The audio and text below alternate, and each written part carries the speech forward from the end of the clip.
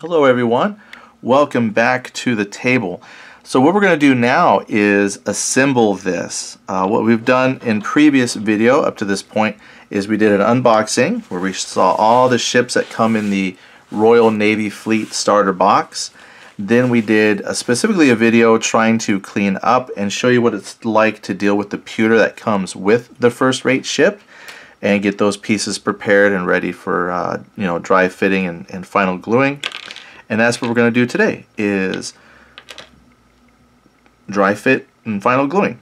Now, one thing I could do, like if I was going to paint, I could probably glue the masts in last. That way it's easier to paint and that might be what we do. So what exactly can I attach here then?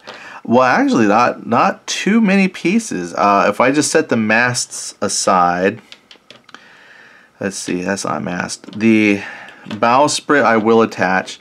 Now this thing was super, super crooked and it took a while for me to get that somewhat straightened out. So I'm hoping that once we glue it into position, it will look good. And it is a little tricky. It had, let's see if I can hold this and not block the lighting too much, but it's got kind of like these horns here and there's a little notch here on the front of the ship where those horns can kind of rest into.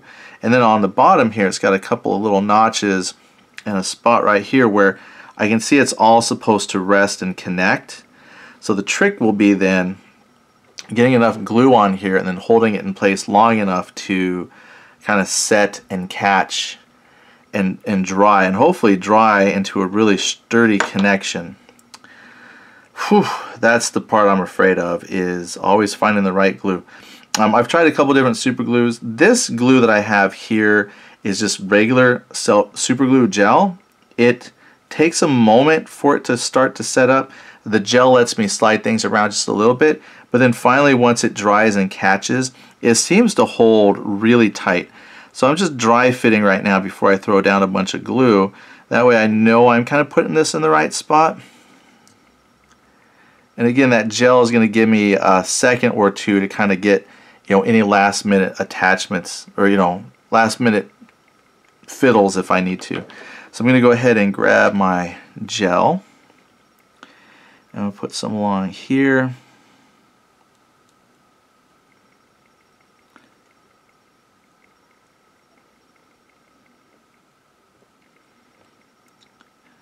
I mean, you don't want to like put too much, but at the same time, you got to make sure you have enough so when it does decide to dry, there's actually glue touching as many of the parts as possible. Okay, here we go. First glued item. And then trying to make sure it's lined up. And I can tell I kind of bent some stuff here trying to get it yeah, I kind of messed up there already. Alright, come on. That's why I'm glad I got the gel. The gel just gives me a couple seconds to finalize the fitting. And I think we got it here. It's fitting in. There's a couple of notches here in the bowsprit which line up perfectly with the cannon. So that might be a little hard to see on the camera. So I think we've got it that way left and right. Then once this is dry, uh, we'll be able to take a better look here. Because again, it's just a matter of getting these big pieces to sit right. I'm looking to see. That's probably about as good as I'm going to get that. That's pretty good. Yeah, just trying to look at that. That's about as straight now, I tell you, looking through the lens of the camera here, the little camera screen, maybe if I get that more under, that might look more straight. But here, looking down on it in person, that's probably about as straight as it's going to get. So we're going to let that dry. Whew. Now, the figurehead, I think I just, I moved that off here. Now, the figurehead I had chosen, this is a Poseidon. You can barely see his little tiny trident on here. So I figure that was supposed to be Poseidon. I don't know if that will even focus in. But there you go. There's this little trident. And I thought that was really cool. Um, there is, I'm going to file this down a little bit. I didn't prepare him as good as I thought I did. So that means I probably didn't even prep him. so we'll just take the file, and get this little spur that I saw there. And we're going to just dry fit real quick to see how it how it gets in there. Mm. And he goes right up against the mast. I tried to dry fit them a little bit to kind of see how they would fit together. And I'm hoping that once everything is kind of dried in place and I bend stuff the way I want, the figurehead is going to help support the mast. So already you can see there's a little off center with that mast. So once I get him glued in, then I can adjust that bowsprit mast just a little bit more. So I'm going to go ahead and grab the glue. And I'm going to have to get a new bottle soon. This is just about empty and then it's really gunked over horribly.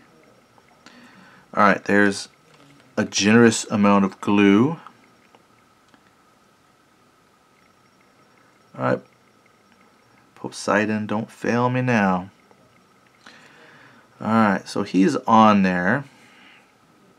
Okay, so again, just a matter of letting that glue dry, cure a little bit, and then I can do some final bends to try and make everything look straight and aligned with one another.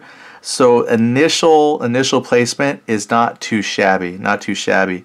But if I was to try and manipulate that now, that glue has not had a chance to fully uh, curate, so or cure. So it's just going to snap or rip away as soon as I really try to start to meddle with stuff. So what we'll do is just kind of leave those there for now. So there we go.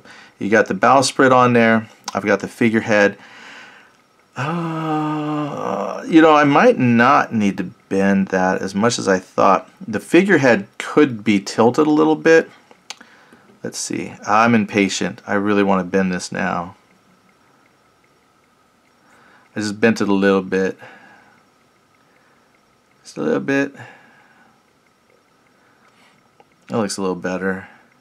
it's just, it's so tough. It's like, ah, ah, you know, you take the good with the bad. So we're gonna we're gonna leave it at that. Because again, if you over mess it, it's it's gonna be horrible if you just keep trying to bend it and straighten it. It's not gonna get any better. All right, so there's that. So we got the bowsprit, we got the figurehead on. Boom, there you go. Now we're starting to look like a ship. Okay, what I'm gonna do here, now the problem with this one is the tweezers can help me lower this into place, but the problem is getting the glue just right because uh, too much glue is definitely going to muck it up. So let's let's see what we can do on the glue here.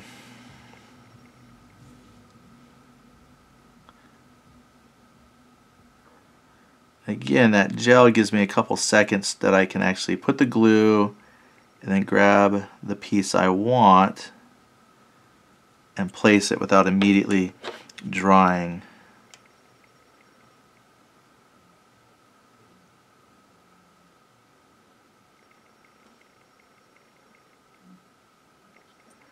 Come on. Then I gotta make sure it's level.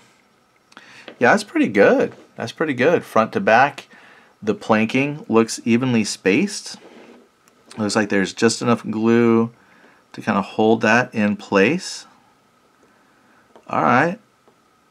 Okay, well that worked out so much better than I thought it would. Now, this is the part where I have to decide, do I want to put the ship? I guess I could paint these and then glue them later, and that's probably what I'm going to do. So I am going to put these here only because um, well I do like being able to see down in here and there's just a little bit of detail and once you kind of uh, spray paint it it's easier to see in there and then the, the boats obviously these little boats cover it up tremendously but the thing is it's not like there's a whole lot to see down in there. I think if somebody really leaned in you could tell you know you could tell that there's things underneath. You can see some of it. So I'll probably will add the boats, but I'm going to add the boats later just so it'll be easier to paint. Or maybe do it now. Mmm. Choices, choices. Yeah, I think I'll I'll do the boats later. It'll be easier to paint the holes white and then paint the inside with them not attached. And then you know the super glue doesn't matter. You just glue and set them down there. So we'll do the we'll attach those boats later. Now we do got a couple of boats. These are I got a couple free floating boats so I'll just set those aside. But there's some here. These have the the attachments because they go on the back here is what the picture was showing me. And I'm going to put those on now because I can paint those while they're not attached. Now, this has a couple birds. I thought I got these. I must have only did... Yeah, I didn't do this very well. That one's got a pretty nasty burr. Not anymore. Okay. So let's see here. Ship. That's going to glue in there. Uh, it looks like, yeah, we're going to do it this way. So again, just kind of dry fitting to get an idea of how I want that to fit on there. So it might not exactly match how it's supposed to, but I think once I have it on there, I'll show it to you. It will look pretty good. It will look good. Let's find the glue.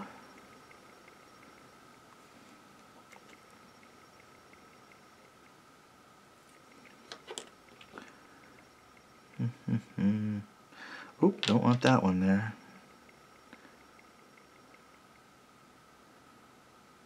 Okay, I'm going to give that a second to catch for the glue. Oh yeah, that looks good. Looks good hanging off there. Yes, that's nice. Alright, and then we're going to do the one over here.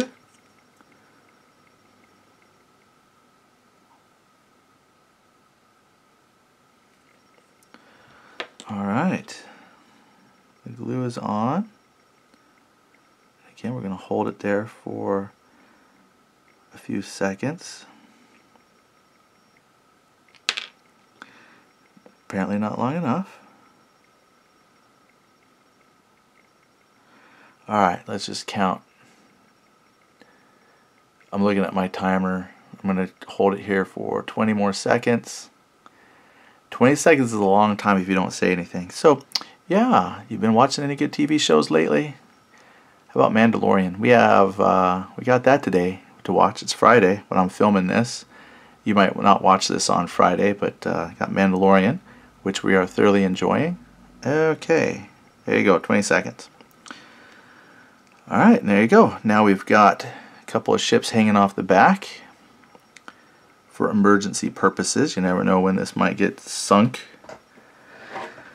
Uh, I don't know if I'm a fan of the uh, captain must go down with the ship kind of philosophy, but um, the rest of us, yeah, we're gonna we're gonna hop in a boat and go to safety.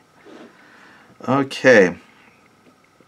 Now what we're gonna do is I've got this boat. Now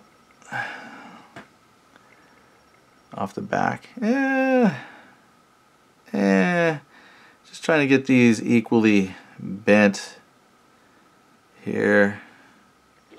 It's going to hang right off the back here. So I think those look good. So we're going to take a big old dab of glue. And I think this glue, this particular bottle of glue I have is just about done.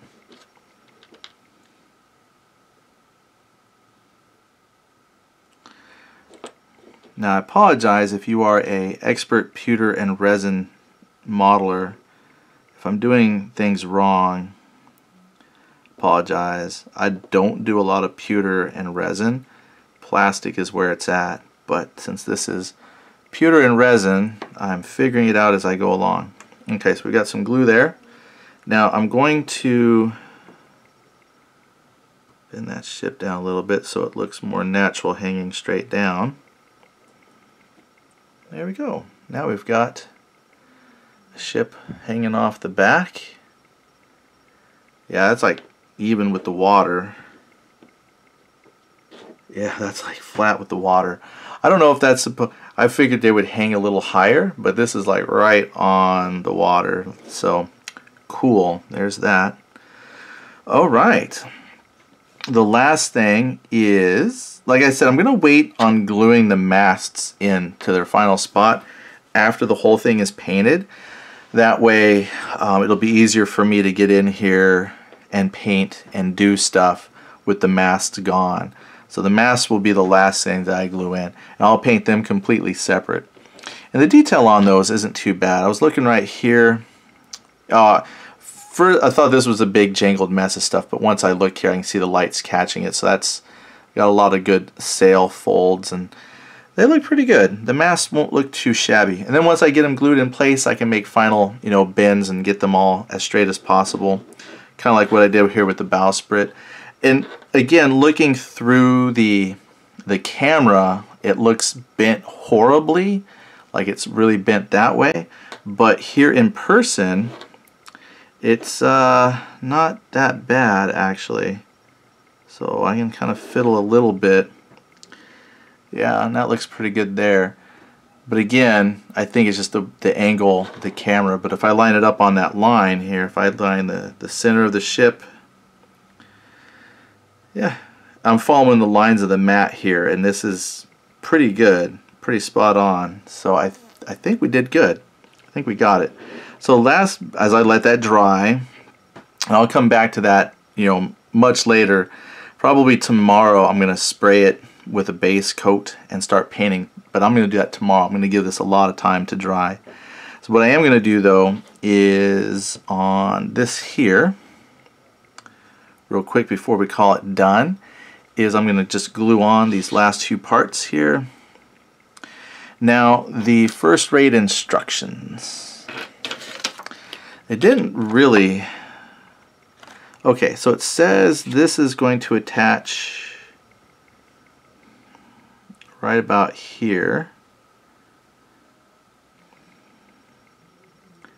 That's what it says. Reality is not going to fit there. It's going to fit down here a little bit, but it's not necessarily at the bottom. So if you can see here, there's a part here that's kind of beefed out. It's got like extra wrapping, and then this is going to fit in not quite exactly below it, but it fits into um, between some of the wrapping like one notch down. So I'm going to fit it here like that, and I'm going to glue it in place. Then I can make any final like bends because right now it sits in pretty good like that and if I need to later I can bend that down so it fits the sail but that will come later. I am going to line this up more though real quick before I glue it. And this is why dry fitting is so important is to try and find you know exactly where things are going to fit and where not to overbend because I just totally bent the crud out of that. I bent that horribly the bottom of the mast trying to fit that little part in. God, I hate pewter. Pewter and I are not good friends. We work together, but... Alright, one more time here. Where do you want to go? I want to go right in here. Alright, so dry fit wise, I think we'll be okay. And then later I can bend that down as needed. But that's kind of lined up here. So we're going to go ahead and put a big old dab of glue and then stick that back in place.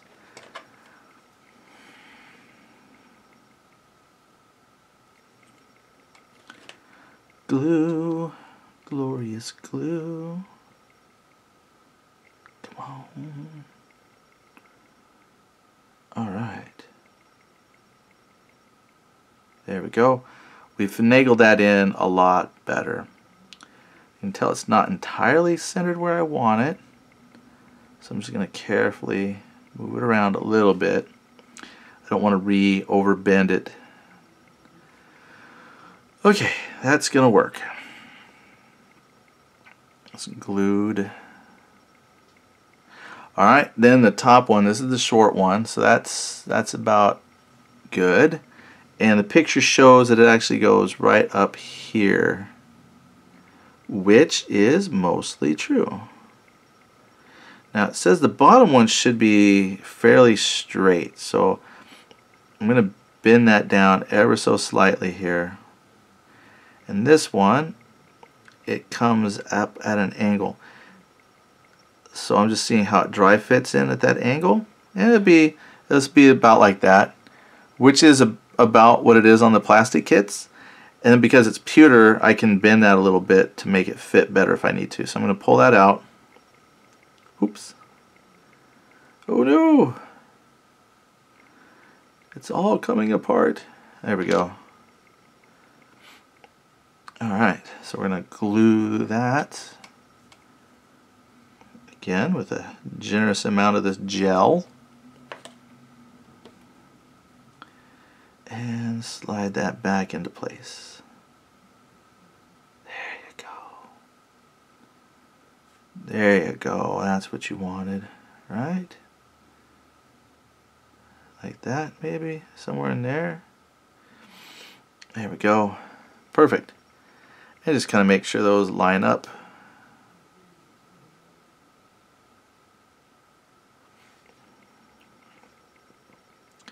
Then what you can do, and I didn't pull that off yet, but you can actually grab that back.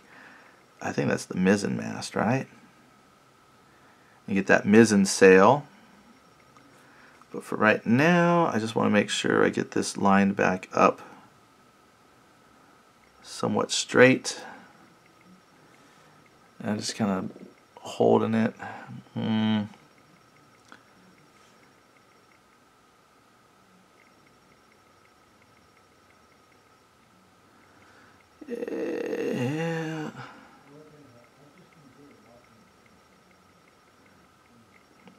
There we go. Um, again, oh, it's just bend it, trial and error.